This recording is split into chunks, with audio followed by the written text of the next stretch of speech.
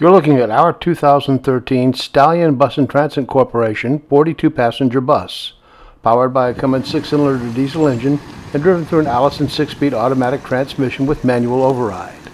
Unit has 19,172 recorded miles, starts, runs, and drives. Please read the written lot description for further information and details.